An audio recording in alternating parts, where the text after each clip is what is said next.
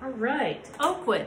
We're going to try a little bit of an experiment here and uh, just see how many of you might take up this challenge to learn to play the ukulele while you are off from school right now. Um, I have, um, at school, we have the baritone ukuleles, which are a little bit bigger than this one. Um, and they are tuned to a little different notes than this one is.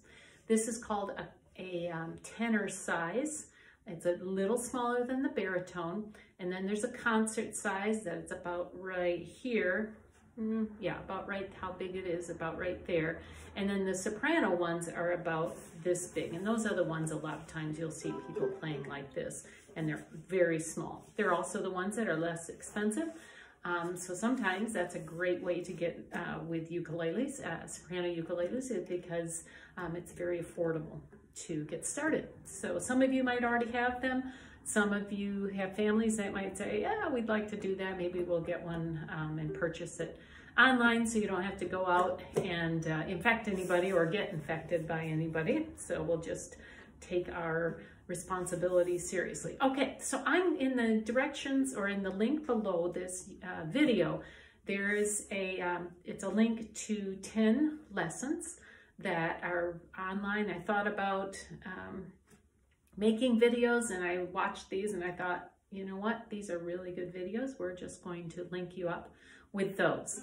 Um, I just wanted to cover just a little bit. Oh, there's two videos. One is how to tune the ukulele, which you do need to know how to do um, because ukuleles go out of tune. And then no matter what you're doing correctly, they're not going to sound quite right.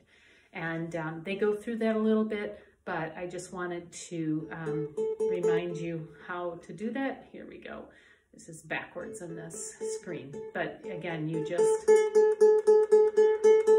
until you get the right pitch. The video is going to um, repeatedly play this, the, the same pitch over and over. So it gets, has it, you get a chance, gives you a chance to really get the tuning in there. So when you see that um, picture of one string being highlighted and you hear the sound over and over and over again, that's your chance to go ahead and make sure your instrument matches the notes that they're um, playing for you.